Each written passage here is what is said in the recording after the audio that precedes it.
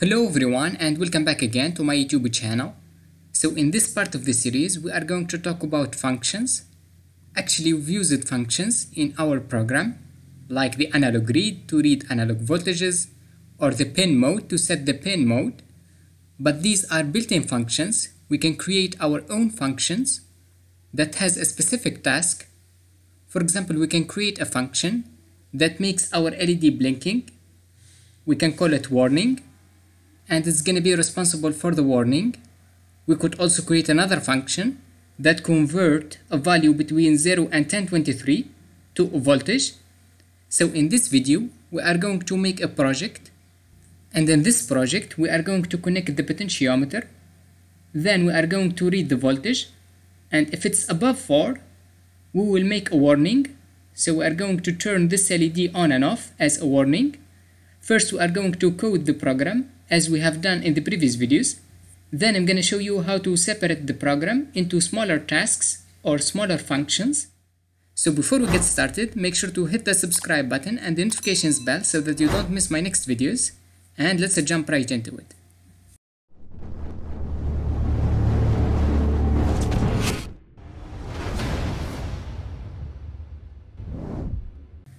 So first of all, I'm going to use this potentiometer and we've talked about potentiometers in the previous videos. First, let's connect it to the ground. For example, the left lead.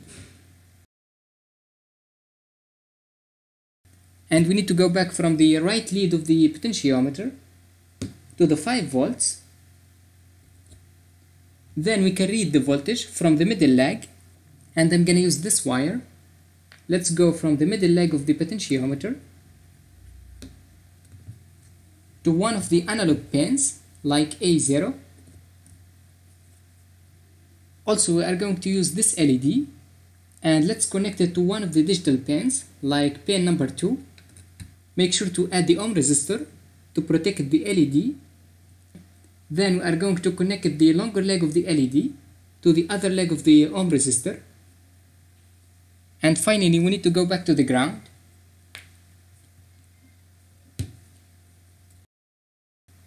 Here we have these two GND pins. I'm going to use this one. So first of all, we are going to create the code without functions. Then I'm going to show you how to create your separate functions and use them in your code. First, we start by adding our variables, like the read pin, which is A0, and the LED pin. We're using number 2 then we can store the read value in another variable. I'm gonna call it read value as well. So we've talked about this code in our previous videos. That's why I'm going faster. Then under the setup function, we use the pin mode. We give it our pin numbers like the read pin. Then we use this pin as an input. And let's add another pin mode. And this is called the built-in function we give it the LED pin, then output, then under our loop function, we are going to add the logic to read the voltage and we are going to assign it to the read value using the analog read command. We give it the read pin and it's gonna return a value between 0 and 1023 and we need to convert it to a voltage between 0 and 5 volts and to do that, we need to add another variable. I'm gonna call it V. And to convert this value, we can use the rule of 3. If we multiply the read value by 5 over 1023, we can change this number to a value between 0 and 5 volts. But make sure that these are float.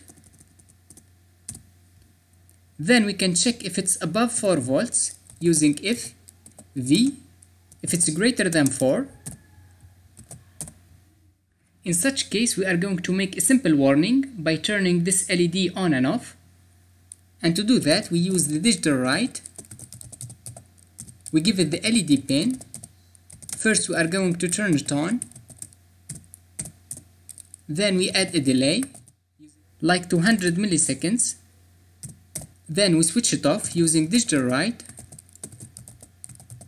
LED pin and the low keyword to turn it off and we wait a bit again using delay 200 and that's going to make a simple warning when the voltage is above 4 volts so let's test our code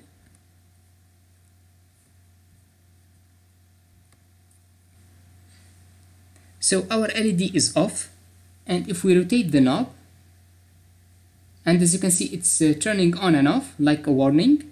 That's because the voltage that we are reading from the potentiometer is greater than 4 volts and if it's less than 4 volts it is turned off. So we want to create our own functions to make this code a little bit cleaner. For example we can create a separate function that is responsible for the warning and to do that we add our functions down here under the loop function first we write the return type for example, if we create a function that returns the voltage, we can use float. If it's returning an int, we can write int. But if it doesn't return anything, in that case, the type is void. So void means nothing. Like in this case, we are just turning our LED on and off. Then we write the name of the function, like warning.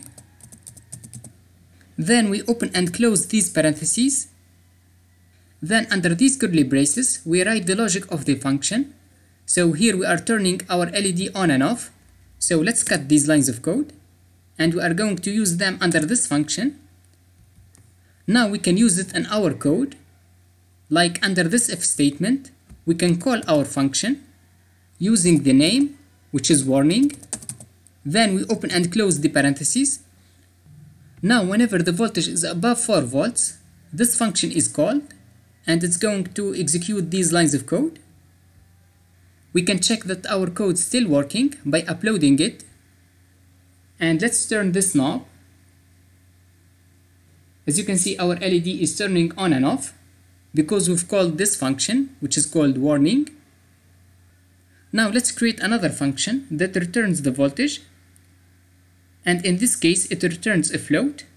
Basically, we are going to read the value from the potentiometer and convert it to a value between 0 and 5 volts, then we can return it. And to do that, we can create our second function under the warning function. First, we write the return type, which is a float. Then we give it a name. I'm gonna call it get voltage. We open and close these parentheses. Then we add the curly braces.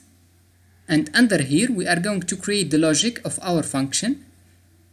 So I'm gonna copy these lines of code. And in order to get the voltage, first we need to read it from the read pin and we can assign it to the read value. After that, we need to calculate the voltage using this formula. But to return this float, we can use the keyword return. Just write return. And this is a reserved keyword. Basically it's returning this value which is the voltage.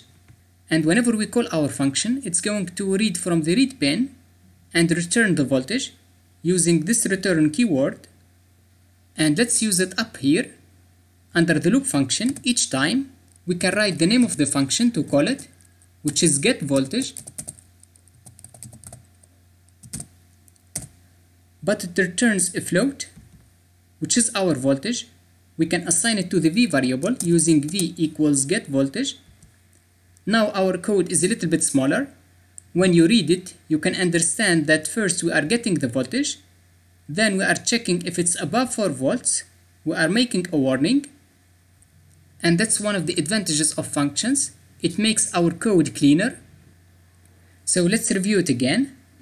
Basically, a function is a piece of code that has a specific task like getting the voltage or making a warning.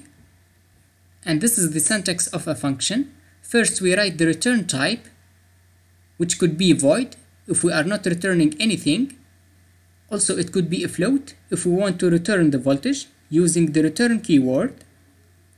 And I highly recommend you to use functions, especially when the code gets more and more complicated. So let's try it again. And there you go, we have our code and it's working. So I hope you enjoyed this video. If you have any question or comment, make sure to write it under the comment section down below. Also make sure to subscribe to my YouTube channel and hit the bell icon so that you don't miss my next videos when I release new one. And I will see you in the next one.